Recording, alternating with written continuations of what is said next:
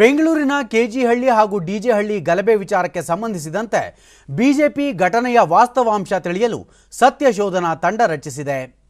ಪಕ್ಷದ ರಾಜ್ಯ ಉಪಾಧ್ಯಕ್ಷರಾದ ಅರವಿಂದ ಲಿಂಬಾವಳಿ, ಮಾಲಿಕಯ್ಯ ಗುತ್ತೇದಾರ್, ಎಂ ಶಂಕರಪ್ಪ, ಸಂಸದರಾದ ಪಿಸಿ ಮೋಹನ್, ಎ ನಾರಾಯಣಸ್ವಾಮಿ ಹಾಗೂ ಎಸ್ಸಿ ಮೋರ್ಚಾ ರಾಜ್ಯಾಧ್ಯಕ್ಷ ಚಲವಾದಿ ನಾರಾಯಣಸ್ವಾಮಿ ಅವರನ್ನೊಳಗೊಂಡ ತಂಡ, ಗಲಭೆ ಸ್ಥಳಗಳು ಹಾಗೂ ಶಾಸಕ ಅಖಂಡ ಶ್ರೀನಿವಾಸಮೂರ್ತಿ ಅವರ ಮನೆಗೂ ಭೇಟಿ ನೀಡಿ ಪರಿಶೀಲನೆ ನಡೆಸಲಿದೆ ಎಂದು ಪಕ್ಷದ ಪ್ರಕಟಣೆ ತಿಳಿಸಿದೆ.